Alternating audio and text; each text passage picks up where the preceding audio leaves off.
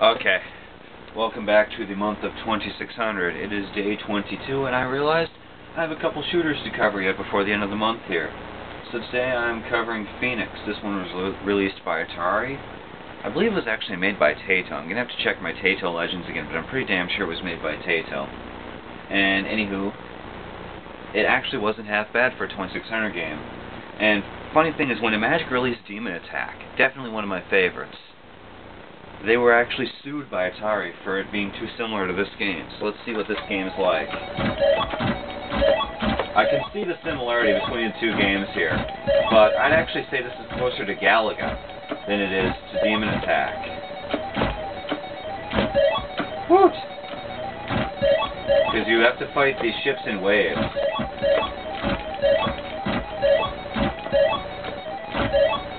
As you can see, it's pretty basic gameplay. This is where I see the similarity to Demon Attack, right here. And as you can see, you have to shoot the phoenixes multiple times.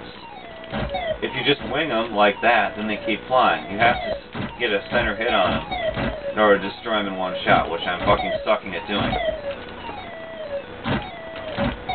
As you can see, the bastards can regrow their wings. So it's frickin' tricky. I like it. Kamino definitely approves of this game. Granted, the uh, background music is utterly annoying, but they had, what, four notes to deal with? Of some fucking slack, people. But I still have to cover a few shooters yet. Tomorrow I'm going to cover Spider Fighter, or probably Thursday. Work sucks. Hello, work. And apparently they can crash into you too.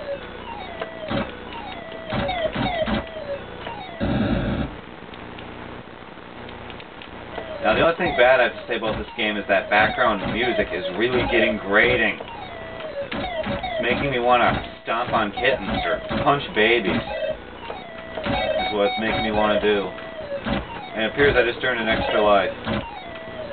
Sweetness. And now I just burned it.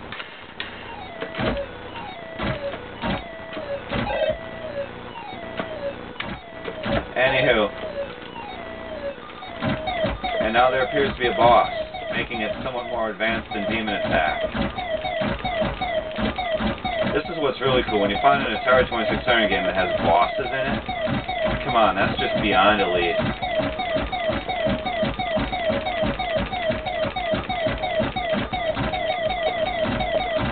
As you can see, the boss is coming down towards you, so you have to fucking hurry. Whoop!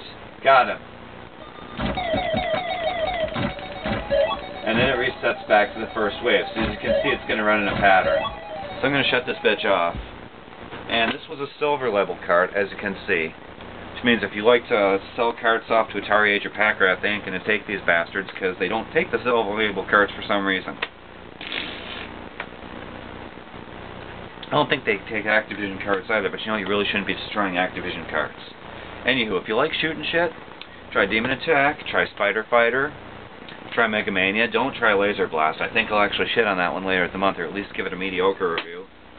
But if you don't like shooting stuff, and really don't like 2600, maybe you could try Donkey Konga uh, on the GameCube.